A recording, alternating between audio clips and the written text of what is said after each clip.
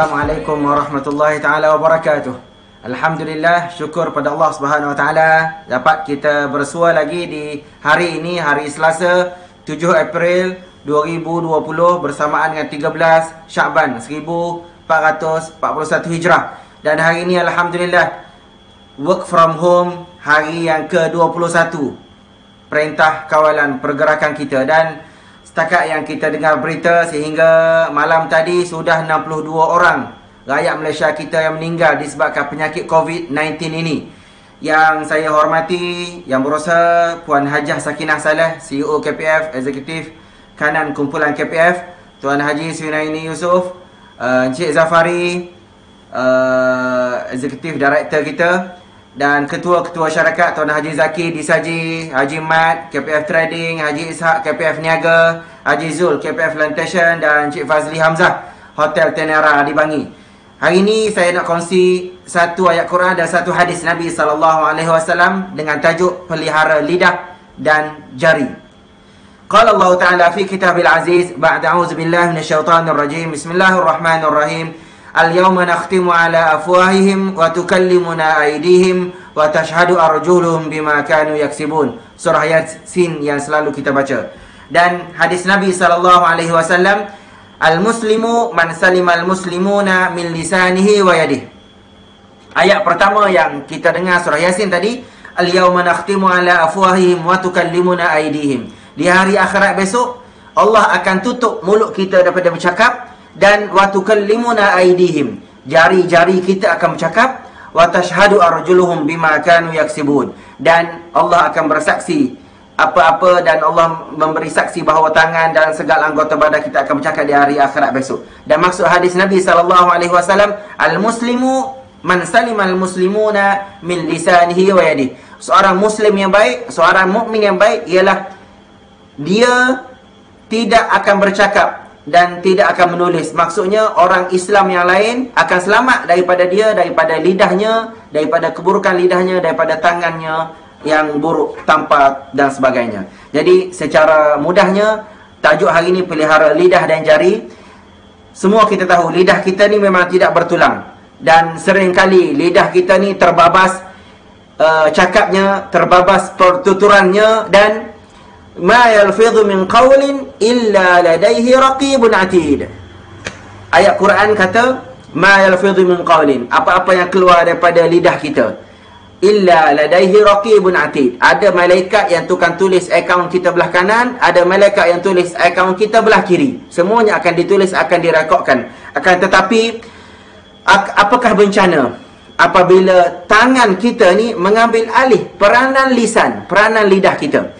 Hari ini mungkin uh, lidah kita tidak berkata-kata, tidak berkomunikasi lidah kita ni. Lidah kita diam. Tapi tangan kita sering tangan kita ni sedang bingit menulis kata-kata dan sebagainya. Semua orang di kalangan kita ada Facebook, ada Twitter, ada uh, TikToknya, ada Instagramnya, ada Snapchatnya, ada macam-macam media sosial kita hari ni dah. Dan hari ni pun sebelum PKP kita Kalau kita pergi ke restoran Kita makan di kedai Perasan tak? Ada mak, ada ayah, ada anak sulung Anak kedua, anak ketiga, abangah uh, Su dan sebagainya.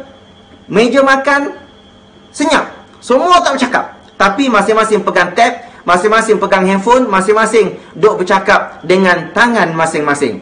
Jadi Nak kata musibah Tidak musibah. Tapi Pernah tuan-tuan baca tak uh, penulis Jepun tulis uh, Yoneji Masuda. Dia telah pernah tulis uh, dalam buku mereka. Dia kata three great social revolution agriculture industrial and information. Jadi uh, Yoneji Masuda ni kata ada tiga revolusi besar dalam kehidupan media sosial dalam uh, uh, sosial masyarakat kita ni. Pertama uh, pertanian, kedua industri dan yang ketiga information dan juga teknologi maklumat ni. Jadi di akhir-akhir ini di zaman PKP kita ni hari ni memang kita tak tengok dah. Kita tak pernah lihat dah Joyah ataupun makcik Kiah ke dan sebagainya bangun pagi pergi uh, meja kawan tu di pejabat, pergi meja kawan ni pejabat, pergi rumah kawan tu tujuannya nak bercakap buruk. Tu, tujuannya nak mengumpat dan sebagainya. Sekarang ni hanya dengan kita bangun pagi, tak turun daripada katil lagi, buka Facebook, buka Instagram, buka kita, tengok tu ada orang post baru. Oh, kita bukan setakat like. Kalau like saja, buat emoji sebagainya, tak ada masalah. Kita tulis terus. Podah! Tulis terus, pelik-pelik tak. Kalau yang teruk lagi, terus tulis.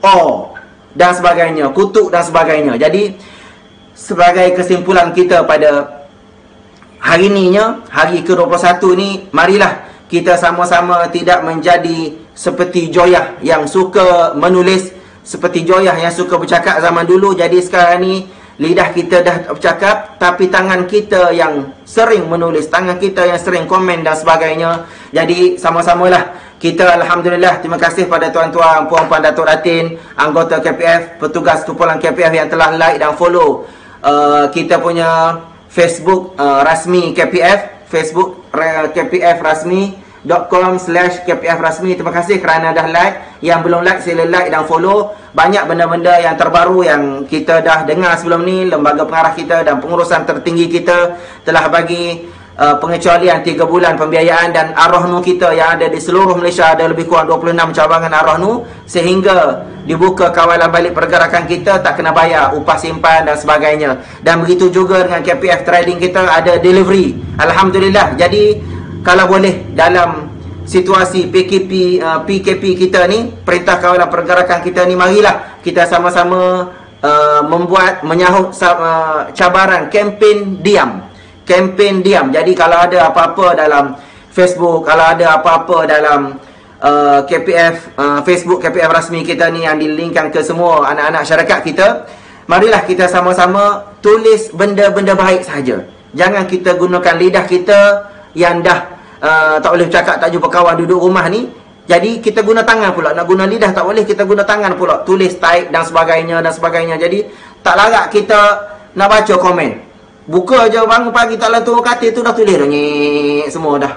Dan sebagainya. Jadi sebagai kesimpulan kita pada hari ininya marilah kita sama-sama yang bersama syukur dengan apa yang kita ada pada hari ini. Alhamdulillah kita dah dapat gaji. Alhamdulillah kita dah dapat uh, penangguhan bayaran kita dah dapat itu dan kalau yang dah isi borang BSH mungkin ramai dah pergi beratur di BSN dah dapat dah bantuan prihatin dan sebagainya Alhamdulillah syukur pada Allah Subhanahu taala dan kalau boleh tahan perasaan untuk komen dan tahan perasaan untuk menulis komen yang buruk dan sebagainya. Ini adalah satu azab. Azab kalau kita ada orang tulis post yang apa-apa kita nak like kita tak tulis tu itu satu azab macam kita duduk rumah ni kan satu azab. Tak boleh nak tulis, tak boleh nak komen tu. Tapi cubalah sama-sama kita diam Jangan tulis kecuali tulis yang benda baik sahaja. Jadi akhir sekali, wa man kana yu'minu billahi wal yaumil akhir falyakul khairan aw liyasmut. Hadis Nabi sallallahu alaihi wasallam tidak sempurna iman seseorang dan sesiapa yang beriman kepada Allah, beriman pada hari akhirat, falyakul khairan aw liyasmut. Kata-katalah, keluarkanlah kata-kata yang baik, tulis tulislah benda-benda yang baik ataupun diam saja. Itu yang terbaik. Jadi sampai situ saja apa yang baik daripada Allah Subhanahu Wa Taala dan apa yang kurang daripada kelemahan saya sendiri. Wabillahi taufiq wal hidayah. Wassalamualaikum warahmatullahi taala wabarakatuh.